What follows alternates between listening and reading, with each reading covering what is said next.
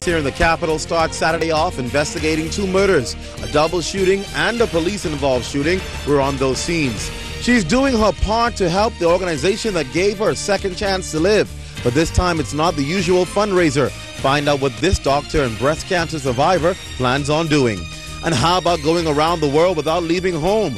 Well, if you are at this festival today, that's exactly what you got the chance to do. Stay close. The Bahamas Tonight Weekend Edition starts right now.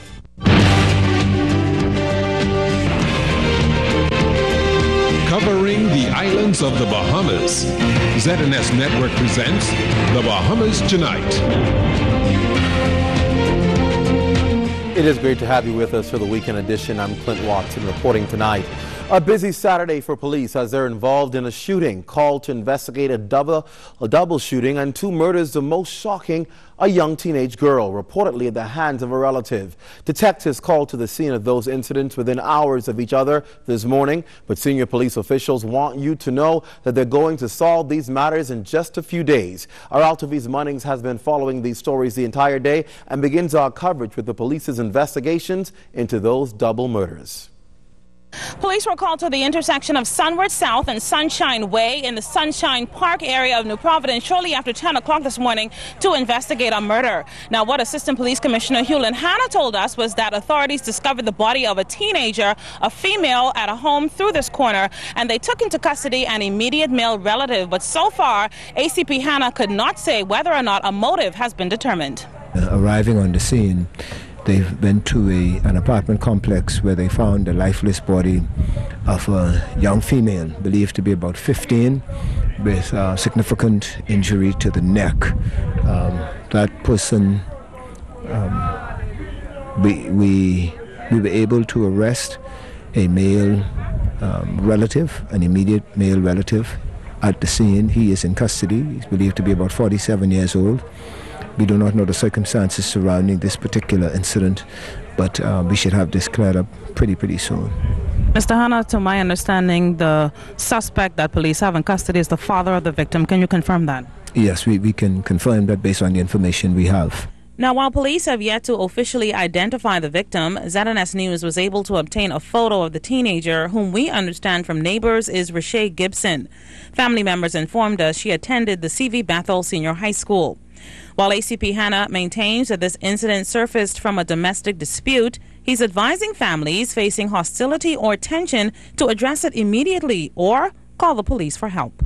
At the end of the day, if you can't get a grip on what is disturbing you as a family, what happens is that because you're in the same house, you're sleeping together, you're eating together, and so all of that, it's like a, it's like a, a melting pot, and in a little while you will have a, a triggering event. We asked their that you would just pull up the victim's family was lifted in prayer during a vigil outside the home, spearheaded by Pastor Evan Roll of Redeeming of the Time Ministries, who just happened to be in the area with his wife and decided to call on God during this troubling ordeal. God ain't asking much of us. All he asking for us is just you know seek him in spirit and in truth, and to be our neighbor's keeper. And you know, this is a moment now when we all should, you know, get together as neighbors and, you know, hear one another pain, you know, and, and cry one another cry, you know, and just live as one. It isn't the phrase prayer that came through this corner this morning because someone said, Lord, wake me up. And I be all through the corner and on the porch preaching and talking to the young people. And we have a good community, but something went wrong.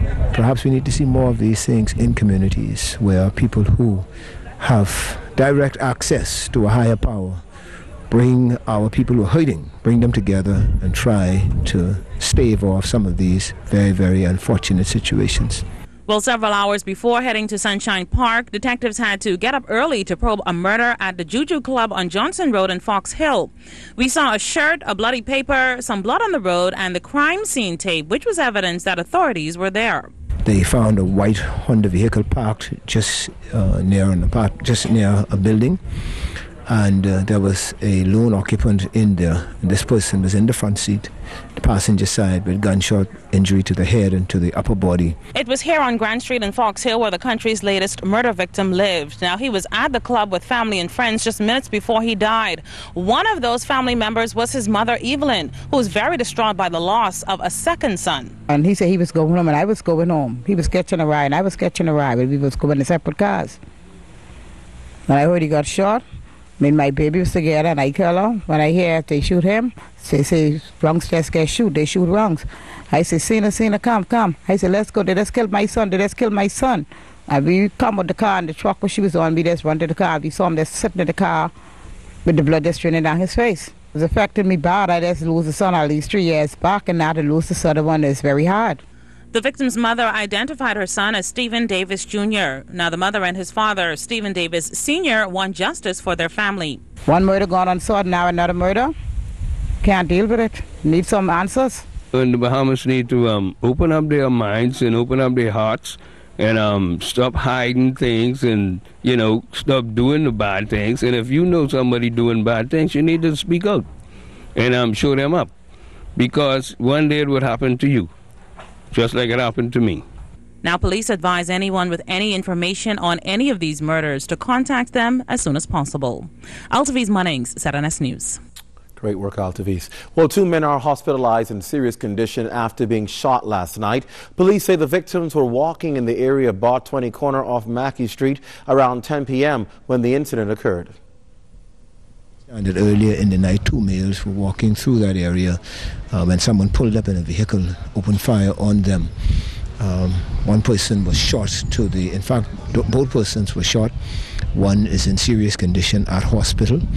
Uh, the other is receiving medical care as well. At this point, we do not know um, the sequence of events that may have led to this particular incident. Well, the bloodshed continued just before heading to Sunshine Park. Authorities rushed to Superwash on Blue Hill Road South after they received word that two armed men were in the area. ACP Hanna tells us what happened when police arrived on the scene. Just aware of your environment. Be aware of what is going on around you. And if you see anything out of the ordinary, try to get out of the area. Sound the alarm, call the police, and let us come in. Because it, it may be that if you act otherwise, you may be caught up in the fray of so many other things that seem to be happening this weekend. The Hanna indicated that a manhunt is underway for the second suspect as investigations continue into those two murders and a double shooting all within hours of each other. ACP Hanna says he knows the public is alarmed at the rate of crime, but authorities are working around the clock to ensure safety.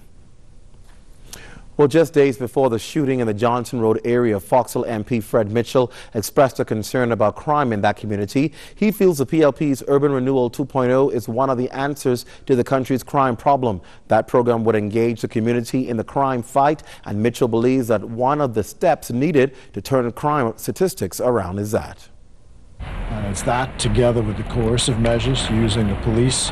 The law is also a part of it, but largely the outreach to the community trying to get the community to engage in resolving the larger issue of why people are attacking one another, why people may be killing one another, why people are engaged in drug activity, all of those antisocial behaviors.